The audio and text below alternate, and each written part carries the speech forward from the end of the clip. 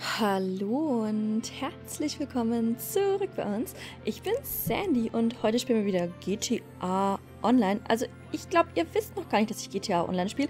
Auf jeden Fall spiele ich das und ähm, in GTA oder in GDA ähm, ist heute Weihnachten und wir bekommen ein Geschenk. Also wir bekommen viele Geschenke, unter anderem aber ein Auto und den möchte ich jetzt gemeinsam mit euch kaufen, denn ich habe nirgendwo gefunden, also ich habe den roten auf YouTube gefunden, den blauen und den grünen, und aber nicht den pinken.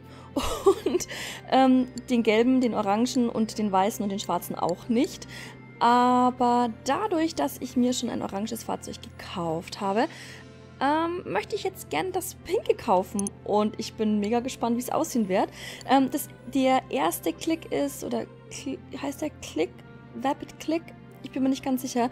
Der erste ist auf jeden Fall kostenlos. Es steht hier oben 0 Dollar. Falls ihr alle Arten von dem Weihnachtsklick haben wollt, dann kostet der, glaube ich, um die 900.000. Wir bestellen ihn aber jetzt erstmal kostenlos in der Farbe Pink und ich bin mega gespannt, wie der aussehen wird.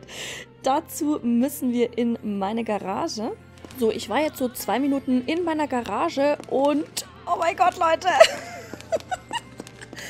Das ist er. Der absolut pinke Vapid Click. Oh mein Gott, er ist mega. Ich glaube, die Schleife geht irgendwann weg. Ähm, also keine Ahnung, wenn nicht, sieht es ein bisschen komisch aus. Aber der sieht mega nice aus. Ich finde es richtig cool. Für ein Auto, das einfach so einen so Sammlerwert hat, finde ich das mega toll. Wir setzen uns mal rein und sogar innen drin ist alles pink. Oh mein Gott. Es ist richtig cool.